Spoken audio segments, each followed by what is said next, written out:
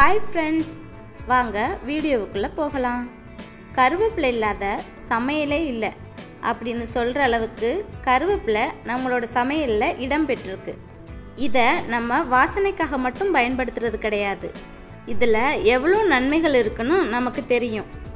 சமீபமாக சர்க்கரை நோய்க்கு ரத்த அழுத்த நோய்க்கெலாம் இந்த கருவேப்பிலை ஜூஸ் தான் மருந்தாக தராங்க இதை அழகுக்காக பயன்படுத்துகிறவங்களும் இருக்காங்க.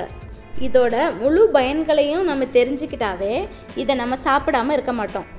காலங்காலமாக இந்த கருவேப்பிலையை மருத்துவத்திலையும் ஆயுர்வேதத்திலையும் அதிகமாகவே பயன்படுத்தி வர்றாங்க.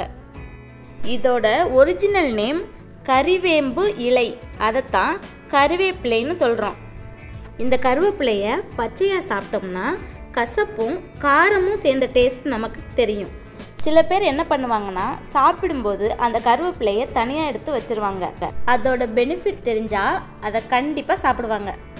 இதில் பலவிதமான சத்தும் வைட்டமினும் இருக்குது இதில் என்னெல்லாம் இருக்குதுன்னா மக்னீசியம் கால்சியம் பாஸ்பரஸ் இரும்புச்சத்து தாதுச்சத்து vitamin A B C amino அமிலங்கள் கிளோகோசைடுகள் ஆன்டி ஆக்சிடென்ட் கார்போஹைட்ரேட் நார்ச்சத்துக்கள் இதெல்லாம் நிறைய இருக்குது இதில் இரும்புச்சத்து அதிக அளவில் இருக்கிறதால கீமோக்ளோபின் குறைபாடு வராது. இரத்த சோகை கூட வராமல் தடுக்கலாம். குட்டி பசங்க கூட இந்த கருவேப்பிலையை சாப்பிட்றதால கீமோக்ளோபின் அளவு வந்து அதிகரிக்கும். இதை துவையல் செஞ்சு சாப்பிட்லாம். பொடி செஞ்சு இட்லி பொடியாக கூட சாப்பிட்லாம். இந்த கருவேப்பிலை உடலில் நல்ல கொழுப்பை அதிகரித்து கெட்ட கொழுப்பை வெளியிடும். இந்த கருவேப்பிலையை ஜூஸ் செஞ்சு சாப்பிடும்போது சிலருக்கு கெட்ட கொழுப்பு படிஞ்சிருக்கும் இல்லையா? அது கூட கரைஞ்சிரும். இதயத்தோட பாதுகாப்புக்கு ரொம்பவே ஹெல்ப் பண்ணும். இதயத்தை வலுவாக்கவும் இதய தசைகளை பாதுகாக்கவும் இதய நோய் வராமல் பாதுகாக்கவும் இதை டெய்லி ஒரு கைப்பிடி அளவு எடுத்து அதை ஜூஸ் பண்ணி சாப்பிட்லாம். இது நோய் எதிர்ப்பு சக்தியை அதிகரிக்கும். இதில் இருக்க வைட்டமின் ஏ கண்களோட பாதுகாப்புக்கு பயன்படும். தூர பார்வை கிட்ட பார்வை இந்த மாதிரி பார்வை குறைபாட்டை தடுக்கும். அப்புறம் இதில் உள்ள வைட்டமின் சி கல்லீரலில் பாதுகாக்கும். முக்கியமாக புற்றுநோய் வருவதை தடுக்கும். இதில் இருக்கிற பினால் அப்படிங்கிற ஒரு வேதிப்பொருள் தான் புற்றுநோய் வராமல் தடுக்குது.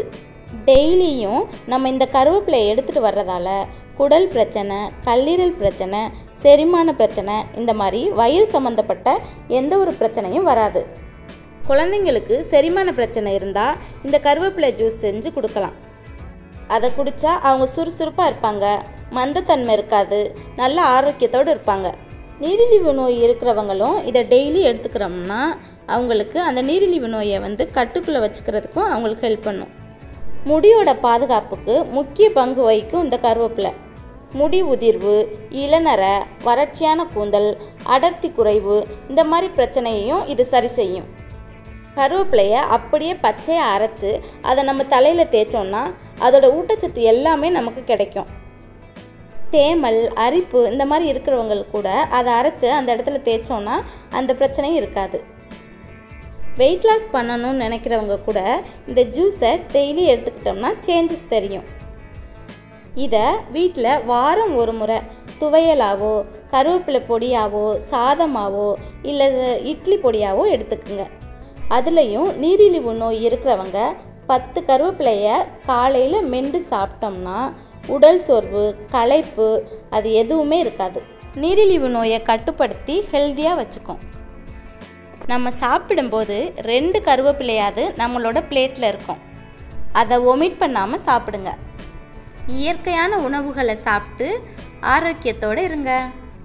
இந்த சேனல் பிடிச்சா சப்ஸ்கிரைப் பண்ணுங்கள்